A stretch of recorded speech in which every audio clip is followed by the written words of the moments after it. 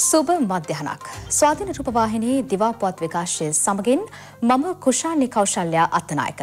ප්‍රථම නවදහනය ප්‍රවෘති සිරස්තල වෙත.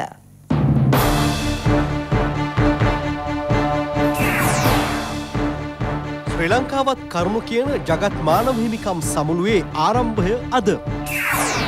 මාතර සිට හම්බන්තොටට අධිවේගේ ගමන මධ්‍යම රාත්‍රිය සිට. පස් දෙනෙකුට මරු කැඳ වූ අනතුර ගැන විමර්ශන. විපක්ෂයේ කාර්යභාරය කල්පනා කරන්න ඕන්නේ ආණ්ඩුව ඇදිලා ඉවරයි. ඩොනල් ට්‍රම්ප්ට භාරත ජනතාවගෙන් ඉහළම හරසර.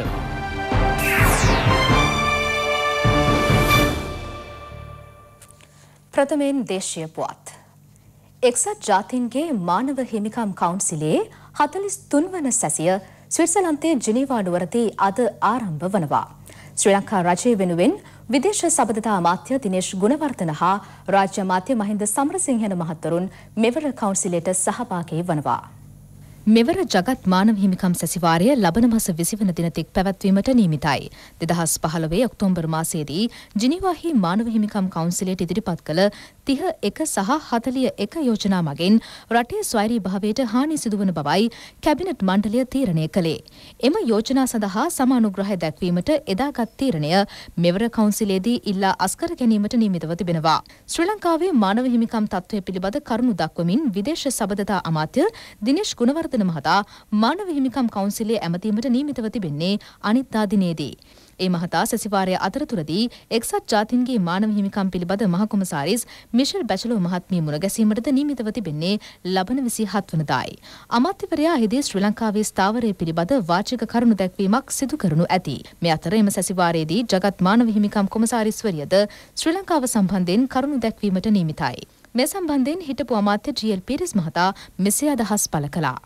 ජිනීවා මානව හිමිකම් කවුන්සිලේ අපේ රටට විරුද්ධව පහුගිය ආණ්ඩුව ගෙනාපු යෝජනාව ප්‍රතික්ෂේප කරමින් ඒකට අපි තවදුරටත් සහයෝගය දෙන්නේ නැහැ. අපේ රණවිරුවන් ලුහු බැඳගෙන ගිහිල්ලා ඒ අයට විරුද්ධව කිසිම පදනමකින් තොරව අසාධාරණ චෝදනා ඉදිරිපත් කිරීමට අපි සම්පූර්ණයෙන් විරුද්ධයි. ඒ වැඩපිළිවෙලට අපි කිසිසේත් සම්බන්ධ වෙන්නේ නැහැ. ඒකට තරයේ අපේ විරෝධය ප්‍රකාශ කරනවා කියන පහුගිය රජය මේ සියල්ලක්ම පාවා අපි ඒවා ප්‍රතික්ෂේප කරමින් ආපස්සට හරවන වැඩපිළිවෙලක් තමයි ඉදිරියට කළේ. ඒ වගේම ශවින්ද සිල්වා එතුමා සම්බන්ධ. එතුමාට විරුද්ධව කිසිම දෙයක් ඔප්පු වෙලා නැහැ. එතුමා විතරක් නෙමෙයි එතුමාගේ ළමයින්ට එතුමාගේ භාර්යාවට විරුද්ධව පියවර ගැනීම සංකල්පවලට පටහැනි දෙයක් හැටියට අපි දකිනවා.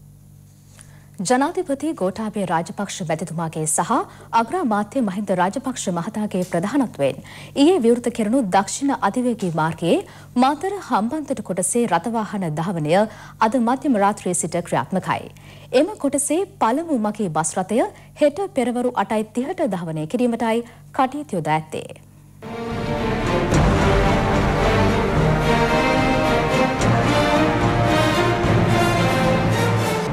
හම්බන්තොට මත්තල කොළඹ යාකරමින් ඉදි වූ දක්ෂිණාතිවේකී මාර්ගයේ අවසන් අධියර ඊයේ විවෘත කෙරුණා. ඒ ජනාධිපති ගෝඨාභය රාජපක්ෂ මැතිතුමාගේ සහ අග්‍රාමාත්‍ය මහින්ද රාජපක්ෂ මහතාගේ ප්‍රධානත්වයෙන්. පාලටුව සිට බරවා කුමක දක්වා කොටසයි මෙසේ විවෘත කෙරුණේ. ජනාධිපතිතුමන් පළමු ප්‍රවේශ පත්‍රය ලබා ගැනීමට හම්බන්තොට වරාය මත්තල ජාත්‍යන්තර ගුවන්තොටුපළ සහ වාණිජ අගනුවර වන කොළඹ සම්බන්ධ කෙරෙන දක්ෂිණාධිවේගී මාර්ගය මෙරට දීර්ඝතම අධිවේගයයි. එහි සම්පූර්ණ දිග කිලෝමිටර් දෙසිය විසි දෙකක්. ජනාධිපතිතුමා සහ අගමැතිතුමා දක්ෂිණ අධිවේගය ඔස්සේ බරවා කුමක දක්වා ගමන් කරද්දී සියලු පිවිසුම් මාර්ගාසල රැඳී සිටි ජනතාවගෙන් ලැබුණේ උණුසුම් ප්‍රතිචාරයක්.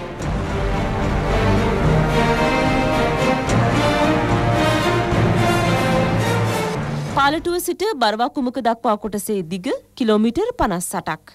වැෑ වූ බුදල රුපියල් බිලියන එකසිය හැට නවයක් පමණ වනවා. පාලටුව සිට හම්බන්තුර දක්වා දුර කිලෝමිටර් අනූහයක්.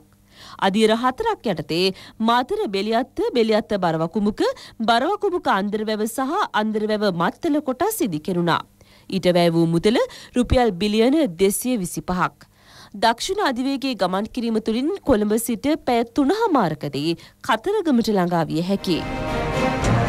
එදා මම පාදයාත්‍රාවේ දුක් හඳුන අහගෙන පයින් ගිය මුළු දුරම අපේ වර්තමාන පරපුරට අධිවේගී මාර්ගයෙන් සැප පහසුවට යන්න සලස්වන්න පුළුවන්කම ලැබීම ගැන අපි අත් වශයෙන්ම සන්තෝෂ වෙනවා. ආයෙත් අපිට මේ දුක් හඳුන අහන්න වෙන්නේ නැති බව මට විශ්වාසයි. මිත්‍රෝඩී නිසාම අද ඒගොල්ලෝ විශාල කුමන්ත්‍රණ දෙදෙලා ඉන්නවා. අපි විශාල බදු සහන ප්‍රමාණයක් මේ රටේ ජනතාවට දීලා තියෙනවා. කර්මාන්තකරුවන්ට ව්‍යාපාරිකයන්ට විශාල ධෛර්යයක් ලබා දෙන්න. දැවැන්ත ව්‍යාපාරිකයන්ට දැන් යෙදෙන්න විශ්වාසයක් ව්‍යවසායකෝ තුල ඇති වෙලා තියෙනවා කියලා දැනෙනවා අපිට. රජයේ රැකියා ගන්න බැරුව හිටපු ලක්ෂයකට පිරිසකට අපි ඉක්මනින් රැකියා දෙන්න වැඩපිළිවෙලක් ජනාධිපතිවරයා හදලා තියෙනවා. වෙනදා තිබුණේ සුදුසුකම SSC පාස් වෙන්න ඕන. මේකේ සුදුසුකම SSC ෆේල් වෙන්න ඕන. දෙක පාස් වුණත් එක පාස් වුණා. මොකද ඒ අයට නේ වැඩිම ප්‍රශ්නේ දැන්. ඒ අයටයි මේක දෙන්නේ. උපාධිධාරීන් දහස් ගණන රැකියාවල දොර අරින්න සූදානම් කළා. මාස 4000ක් එකපාර අපි එදා කරා වගේ. මාර්ග ලක්ෂයක් කිලෝමීටර් ලක්ෂයක් ගොඩනැගීමේ වැඩපිළිවෙල පසුගිය සතියේ ජනාධිපතිතුමාම ගිහිලා ආරම්භ කරා. ජනාධිපතිතුමාගේ සංකල්පය අනුව ගෙවල් 14000ක් හදන්න වැඩපිළිවෙලක් ආරම්භ කළා. හැම ග්‍රාම සේවක වසමකට ගයක් ගානේ හදලා අපි ජනතාවට බාර දෙනවා. කුකුල් කූඩු නෙවෙයි. සල්ලිකාරයොන්ට නෙවෙයි. ව්‍යාපාරිකයොන්ට නෙවෙයි. ගයක් හදාගන්න බැරි අහිංසකයෙකුට. පැල්පතක ජීවත් වෙන කෙනෙකුට. තකරම් මඩුවක ජීවත් වෙලා ඉන්න මිනිස්සෙකුට. අපි පහුගිය ආණ්ඩුව මග හැරපු දැවන්ත සංවර්ධන ක්‍රියාවලිය යලි ආරම්භ කරමු. කොළඹ වරාය, කටුනායක ගුවන්තොටුපොළ, කේන්ද්‍ර කරගෙන වාණිජ්‍ය හා මුදල් කේන්ද්‍රස්ථාන ගොඩනගනවා. හම්බන්තොට වරාය, මත්තල ගුවන්තොටුපොළ කේන්ද්‍ර කරගෙන ජාත්‍යන්තර කාර්මික හා සේවා සැපයුම් කේන්ද්‍රස්ථානයක් ගොඩනගනවා. අර ඉඩම් ටික අපි ඒ ඉඩම් වල දැන් අපි ඔවුන්ට කියනවා මේ කර්මාන්ත ආරම්භ කරන්න. අපි ආරාධනා කරනවා අනිත් රටවල් වලට. තිරුකුණාමල වරාය, කංකසන්තුරිය වරාය, ගේන්ද කරගෙන සී ඇඩය ගන්න ආර්ථික කොරිඩෝ 9ක් ගොඩනගා ගන්න ලෑස්ති කළා. මේවා ගෝඨාභය රාජපක්ෂ ජනාධිපතිතුමාගේ සෞභාග්‍ය දැක්ම වැඩසටහනේ කියන දේවල්. අපි මේ අභියෝග වලට මුහුණ දෙන්න සූදානම්. මේ අතර දක්ෂිණ අධිවේගී මාර්ගයේ ගමන් කරන අධි සුකෝපභෝගී බස් රථ සේවාවන්හි ප්‍රවේශ පත්‍රවල මිල ගණන් මේ වන විටත් ප්‍රකාශයට පත් කර තිබෙනවා. ඒ අනුව කොළඹ සිට හම්බන්තොට දක්වා අය කරන මුදල රුපියල් 880ක්. තංගල්ල සහ කොළඹ අතර බස් ගාස්තුව රුපියල් 680යි. හම්බන්තොට මාකුඹුර අතර රුපියල් 810ක් අය කරනවා. දක්ෂිණ අධිවේගයේ මාකුඹුර සිට තංගල දක්වා ගමන් කිරීම සඳහා අය කරන බස් ගාස්තුව රුපියල් 610ක්. වවුනියාව ඕමන්ත ප්‍රදේශයේදී ඊයේ රාත්‍රියේ සිදු වූ අනතුර පිළිබඳ ඕමන්ත පොලිසිය වැඩිදුර පරීක්ෂණ සිදු කරනවා. වෑන් රථයක් සහ බස් රථයක් මුහුණට මුහුණ ගැටීමෙන් සිදු වූ මෙම අනතුරෙන් පස් දෙනෙකු මිය ගියා. 21 දෙනෙකු තුවාල ලැබුවා. මෙසේ අනතුරට පත්ව ඇත්තේ යාපනයේ සිට වවුනියාව දෙසට ගමන් කළ ලංගම බස් රථයක් සහ වවුනියාවේ සිට පේදුරුතුඩුව බලා ගමන් කරමින් තිබූ වෑන් රථයක්. මියගිය අය පිළිබඳ මහේස්ත්‍රාත් පරීක්ෂණ අද සිදු කෙරෙනවා.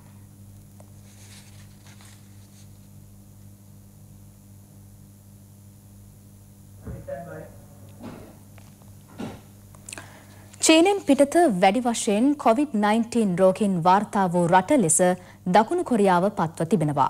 ඉහළම සෞඛ්‍ය අවධානම් නිකුත් කර ඇති දකුණු කොරියාවෙන් වාර්තා වී ඇති ආසාදිතයන් සංඛ්‍යාව 763ක්. දකුණු කොරියාවෙන් ඊයේ දිනයේ නව COVID-19 ආසාදිතයින් එකසිය හැට එක් දෙනෙකු වාර්තා වුණා. මේ වන විට එරට වෙළඳපළ සහ කඩසාපු රැසක් දුමායනය කරමින් පවතිනවා.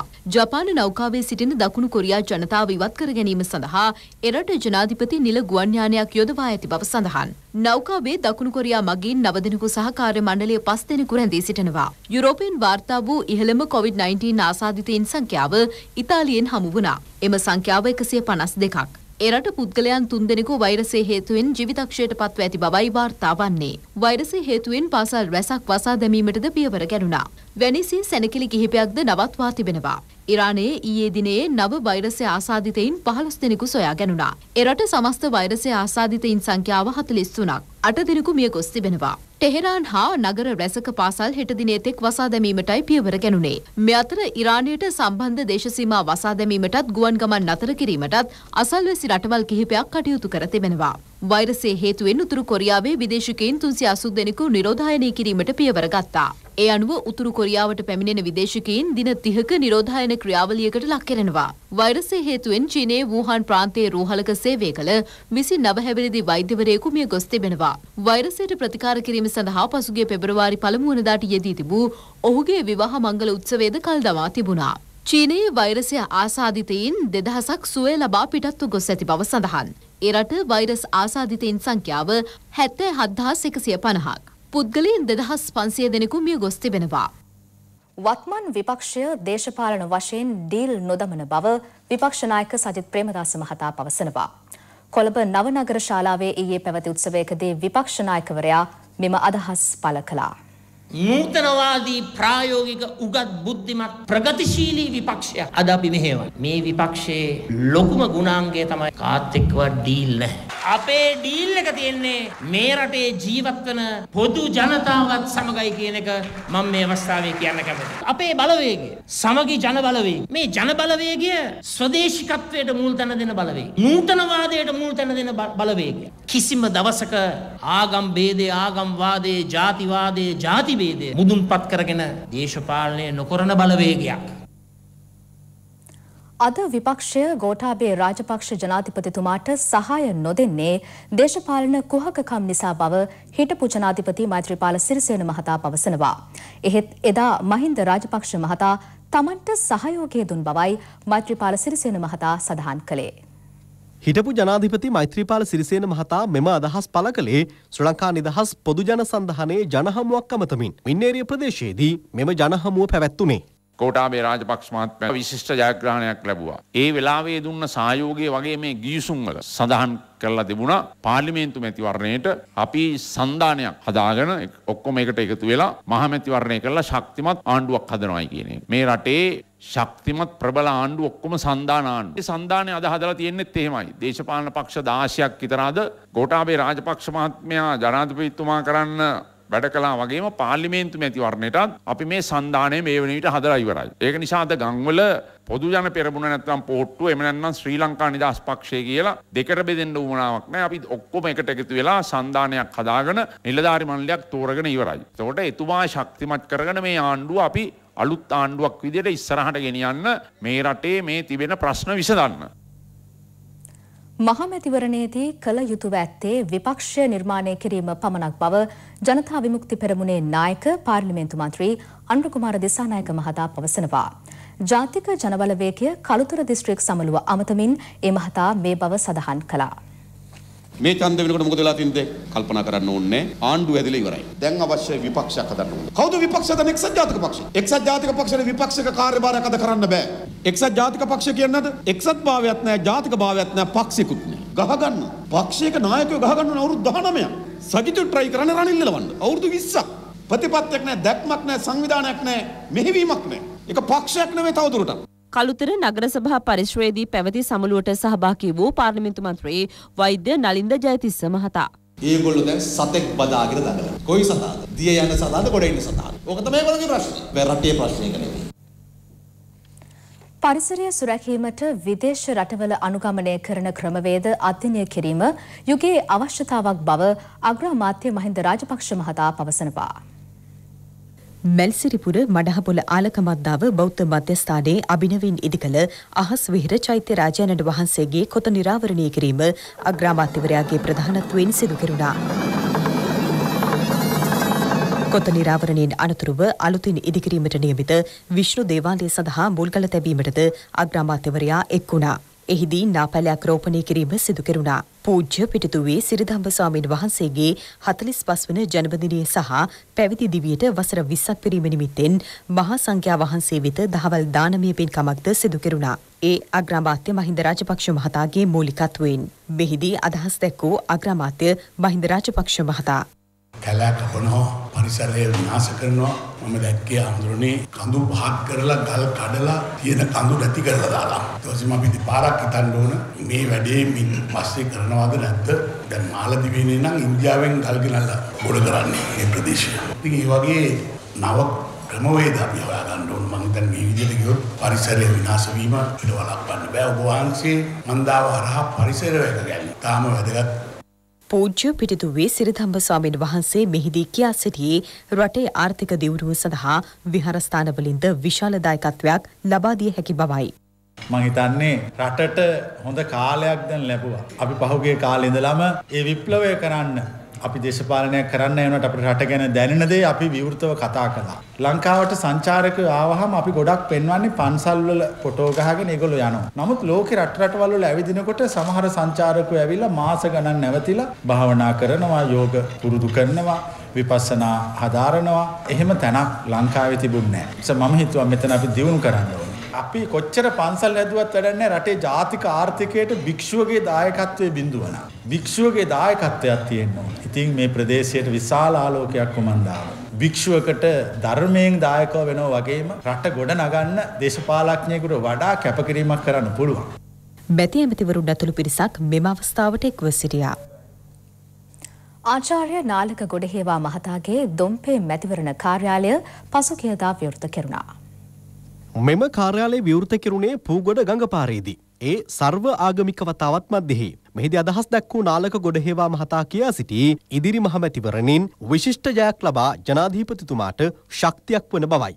ඉතාමත්ම අවාසනාවන්ත කාල පරිච්ඡේදය අවසන් කිරීමට මේ රටේ 69 ලක්ෂයක් ජනතාව එකට එකතු වෙලා අලුත් ජනාධිපති කෙනෙක් පත් කරගත්තා. අර ඊනියා යහපාලනය කියලා අපේ රටේ ඇවිල්ලා තිබිච්ච වසංගතය අපි යම් තාක් දුරකට පාලනය කරගන්නට සමත් ඒ ජනාධිපතිතුමාට තමුන්ගේ ස්වාධීන තීන්දුව తీරන අරගෙන එතුමා ඉදිරිපත් කරපු ඒ සෞභාග්‍යයේ දැක්ම කියන ප්‍රතිපත්ති ප්‍රකාශනය සියයට සියක් ක්‍රියාත්මක කිරීමේ හැකියාව අපේ රටේ සැබෑ ජනමතය නියෝජනය වෙන පාර්ලිමේන්තුවක් පත් කරගත යුතුයි. ජනාධිපතිතුමාට අගමැතිතුමාට ඒ සෞභාග්‍යයේ දැක්ම ප්‍රතිපත්තිය ක්‍රියාත්මක කිරීමට අවස්ථාව ලබා දී දේශීය විවර්ග වගා කරමින් ඉහළ ආදායමක් ලබන තරුණයෙකු පිළිබඳ තොරතුරු පාදුක්ක ඉහළ බෝපේ ප්‍රදේශයෙන් අපට වාර්තා වුණා. පාදුක්ක ඉහළ බෝපේ ප්‍රදේශයේ පදිංචි MDG ප්‍රභහත් මහතා ගොවිතැන් කටයුතුල නිරත වන්නේ පෞද්ගලික ආයතනයක රැකියාවකද නිරත වන අතරතුරයි. රසායනික පොහොරවලින් තොරව දේශීය විවර්ග රැසක් ඔහු වගා කරනවා. සුවදැල් කහවනු සුදු හීනටි ආදී වීවර්ගවලට අමතරව කුඹුරේ නියරවල එළවලු වගාවටද ඔහු යොමු වී සිටිනවා. දේශීය වී වර්ග තමයි වගා කළේ. ඒක කරන්න මූලික වුණේ කාබනික පෝර වගා පෝර භාවිතය තමයි. අපි ඒකක පිරිවේ අඩු කිරීමේ ක්‍රමයක් විදිහට මේ සියලුම භූමි ප්‍රමාණය වගා කළා. පච්ච පෙරුමාල් තියෙනවා, සුදු හීනටි තියෙනවා, කළු හීනටි තියෙනවා. වී වර්ග 15ක් විතර දාලා තියෙනවා මේකෙද. මෙම ආදර්ශ ගොවිපළ සඳහා උපදෙස් ලබා දී ඇත්තේ පාදුක්ක ගොවි ජන සේවා මධ්‍යස්ථානයයි. කොළඹ දිස්ත්‍රික් කෘෂිකර්ම අධ්‍යක්ෂවරියද මෙම ගොවිපළ නිරීක්ෂණය කළා. දැන් පුවත් කිහිපයක් ලුහුඩින්. ආබාධ හා අබාධිතින් පිළිබඳ නවවන ජාත්‍යන්තර සමුළුව කොළඹදී ආරම්භ වුණා. ඒ ඇමතිනි පවිත්‍රා වන්‍යාරච්චි මහත්මියගේ ප්‍රධානත්වයෙන් රටවල් 36ක නියෝජිතයින් ඊට සහභාගී වනවා. සමුළුව අනිත් ආතෙක් පැවැත්වෙනවා. පදියතලාව සහ දෙහිඅත්ත කණ්ඩිය අධ්‍යාපන කලාපවල අඩුවතැම්ලාභී පවුල්වල දරුවන් සඳහා වසරකට සරලන පාසල් උපකරණ සහ නිල ඇඳුම් බෙදා දීමේ උත්සවයක් පදියතලාව ජාතික පාසලේදී පසුගියදා පැවැත්වුණා. මෙම වැඩසටහන සංවිධානය කළේ බිම්තැනට මනුස්සකම සංවිධානය හා කමල් චමින්ද මහතා ඇතුළු ප්‍රංශයේ සහ ඉතාලියේ වෙසෙන ශ්‍රී ලාංකිකයන්ගේ දායකත්වයෙනුයි. දරුවන්ගේ සංස්කෘතික සංදර්ශනයක්ද මෙහිදී පැවැත්වුණා. රත්මලාන පරමධම්මචේතිය පිරිවෙන් විහාරස්ථ ශ්‍රී සිද්ධාර්ථ දහම් පාසලේ ශිෂ්‍යනායක නිලලාංඡන පැළඳවීම හා ත්‍යාග ප්‍රදානෝත්සවය එම විහාරස්ථානයේදී පැවැත්වුණා. ඒ විහාරාධිපති සහ දහම් පාසලේ ප්‍රධානාචාර්ය පූජ්‍ය මායිටිපේ විමලසාර ස්වාමින් වහන්සේගේ අනුශාසකත්වයෙන් මෙහි ප්‍රධාන ආරාධිතයා ලෙස සහභාගී වූයේ බස්නාහිර පළාත් ආණ්ඩුකාර විශේෂඥ වෛද්‍ය සීතා අරඹිපොළ මහත්මියයි. පූජ්‍ය මුරුත්තෙට්ටුවේ ආනන්ද ස්වාමින් වහන්සේ ප්‍රමුඛ මහා සංඝරත්නයේද අතිරේක බෞද්ධ කටයුතු කොමසාරිස් ජෙනරාල් හේමසිරි පියතිලක මහතා ඇතුළු ආරාධිතයන් රැසක්ද මෙම අවස්ථාවට එක්වුණා. ශ්‍රී ලංකාවේ විශාලතම එලිමහන් චිත්‍ර ප්‍රදර්ශනය හා නිර්මාණ දැක්වීමේ කලාපොල මෙවරත් පැවැත්වුණා. ඒ නෙළුම් පොකුණ රගහල පරිශ්‍රය අසල හා විහාර මහදේවී එලිමහන් උද්‍යානය අතර ආනන්ද කුමාරස්වාමී මාවතේදී. එය මෙවර පැවැත්වුණේ විසිහත් වන වතාවටයි. ශ්‍රී ලංකාවේ ඉතාලි තානාපති රීටා ගිලියානා මැනිල්ලා මහත්මිය ප්‍රධාන ආරාධිතයා ලෙස මෙම අවස්ථාවට එක්වුණා. පූජ්‍ය බන්තේ ධම්මානන්ද ස්වාමින් වහන්සේට බියගම දික්වෙල ඉසුර ළමා නිවාසයේ සභාපති දුරේ පිරිනැමීමේ උත්සවය කෞතුකාගාර ශ්‍රවණාගාරයේදී පැවැත්වුණා. ඉසුර ළමා සංවර්ධන මධ්‍යස්ථාන කාරක සභිකයින් විසින් වියට්නාම ජාතික ධම්මානන්ද හිමියන් වෙත මෙම සභාපති දුරේ පිරිනමනු ලැබුවා. කැලණිමුල්ල ගලහිටියාව පුරාණ විහාරාධිපති ආචාර්ය පූජ්‍ය පොල්ගස් වත්තේ පරමානන්ද ස්වාමින් වහන්සේ ඇතුළු පිරිසක් මෙම අවස්ථාවට සහභාගී වුණා.